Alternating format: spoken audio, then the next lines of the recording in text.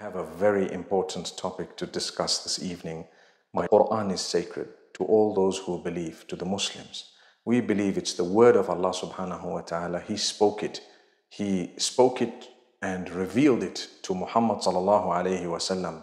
We believe that part of our worship would be the recitation of the Quran. Allah Almighty has instructed us that during the five daily prayers, these prayers would be incomplete if we didn't recite a portion of that revelation known as the Quran within every unit of prayer. So we consider it totally sacred. We believe in its authenticity and we would be very, very hurt if someone were to desecrate the pages of the Quran or if someone were to do something that would be disrespectful to the Quran. The same applies to the hadith although the hadith is not the word of Allah subhanahu wa ta'ala, but it is the word of the Prophet Muhammad, peace be upon him, and he is relating it from Allah subhanahu wa ta'ala. And uh, the hadith is a term that is not as broad as the term sunnah. When we say sunnah, it refers to many things. But when you say hadith, it's the statements of the Prophet ﷺ, it's the deeds of the Prophet ﷺ, it is the uh, confirmations, uh, it is the uh, reiterations of the Prophet Muhammad sallallahu alaihi wasallam, uh, and so on. This is considered to us sacred. We believe in the Sunnah. We believe in the Hadith. If anyone were to actually say something nasty, it would hurt us. Let's talk about the Quran for a moment. In the Quran, Allah tells us as Muslims that ولا تسبوا الذين يدعون من دون الله فيسبوا الله عدوا بغير علم. Allah says, don't mock at or swear at those who are calling out to deities besides Allah. So you have people who worship anything and everything. Allah says, Yes, we know you disagree with them. We do disagree. But Allah says, Be respectful in your disagreement. Don't mock at them and don't swear at them. So if you find someone worshipping a pole or worshipping uh, whatever it may be, you know, this the thing that we may consider really absurd. I mean, worshipping a shape made of the defecation of an animal.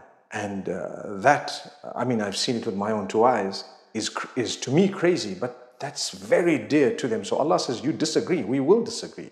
I do disagree, but offer them a certain level of consideration when talking to them, when talking about them, when inviting them towards what you believe is right. Simply because in that verse, Allah says, don't mock at those who are calling out to deities besides Allah because they will mock at Allah out of hatred without knowledge. Guess who would have caused it? Your initial mocking would have resulted in a, a skittle effect. It would have, you know, a reaction, and that reaction has another reaction, and that has another reaction, and so on. So Allah says, wait, when something is very close to the hearts of people, be careful how you address the matter. This is a very powerful teaching in the Quran. And Allah spoke it and told it to us through Muhammad. If you were to read the Quran, it definitely stands out from all other books that are in existence. It stands out totally and completely. It's very unique. It's a different book. I've read a lot of the scriptures of a lot of faiths, in some cases, whole uh, scriptures, and in some cases, parts of it. And I tell you, I'm so, so glad to be a Muslim and to be one of the members of uh, the Quran, Ahlul Quran, meaning may Allah make us from the people of the Quran, you know, those who give importance to it.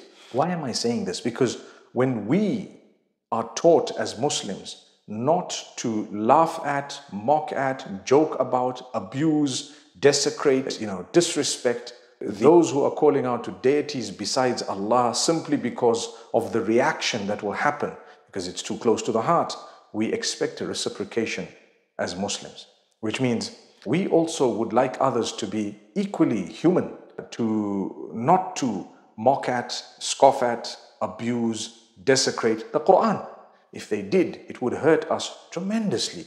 And what happens, you look at the Quran, Allah says, there will be a reaction when you do something.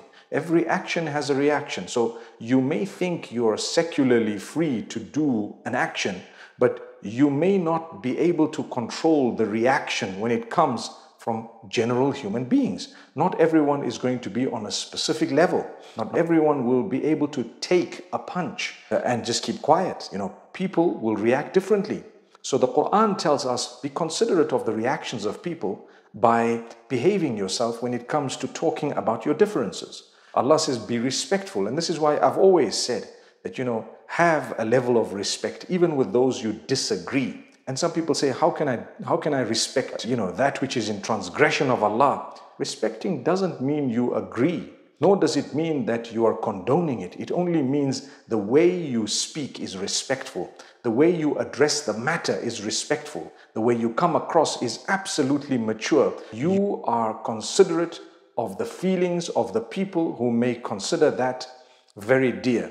I give you an example. Abu Bakr as-Siddiq radiallahu anhu, considered to be by uh, the Sunni Muslims the best person to tread this earth after the prophets of Allah subhanahu wa ta'ala.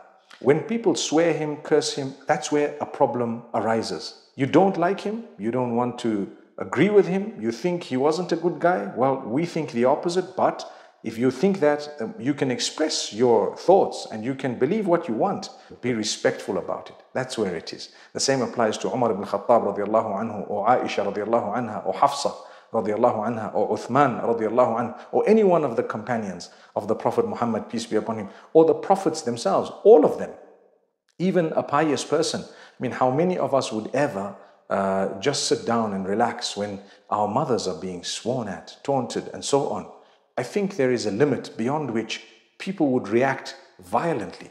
May Allah protect all of us because that's not healthy at all. But sometimes those who act don't consider the reaction.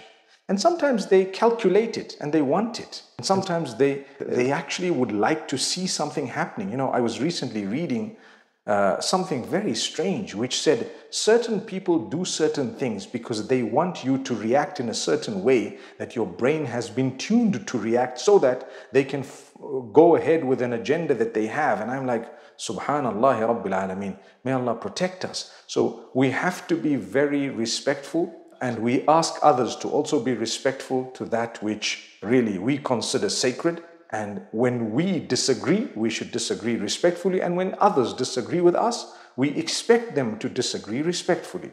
If someone were to be disrespectful, my brothers and sisters, I know that it pains the heart, but bear patience. Allah says it in the Quran. We know that it pains your heart what they're saying about you. He tells Muhammad, peace be upon him, sallallahu alayhi wasallam, we know that it hurts your heart, but be patient.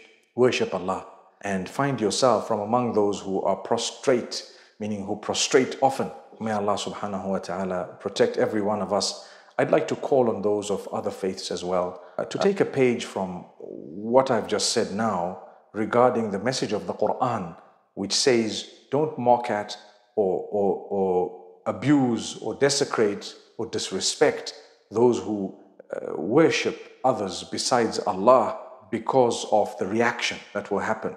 We're taught that. So we want you to also take a page from that and offer us similar respect, inshallah.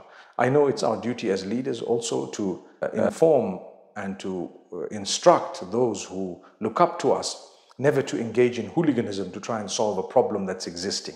So you find someone has uh, desecrated the Quran. Like I said, people's reactions will be different. I don't have control over the people, but I will say don't ever react in a way that would create two problems out of one. Always engage people. Always try to speak to them. Always try to convince them. I have found it very beneficial. In fact, many, countless people have actually turned to Islam after their hatred of Islam simply because of a beautiful reaction to what they did or said.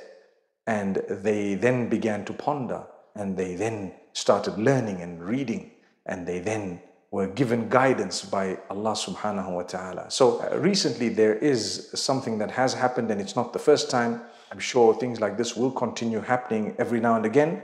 Let's react in a positive way. It's a moment where people are going to open up uh, the internet and various books and libraries and so on to research more about Islam.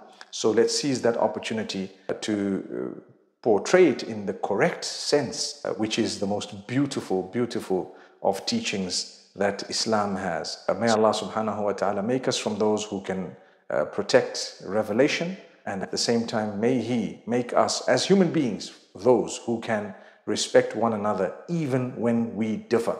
And I want to end off by repeating something. Some people don't understand what is meant by respecting the difference. they actually think it means we agree or we're condoning or we don't, or we're watering down. It's none of that. It is just to address the matters respectfully and to be able to react in a respectful way. That's all we're saying.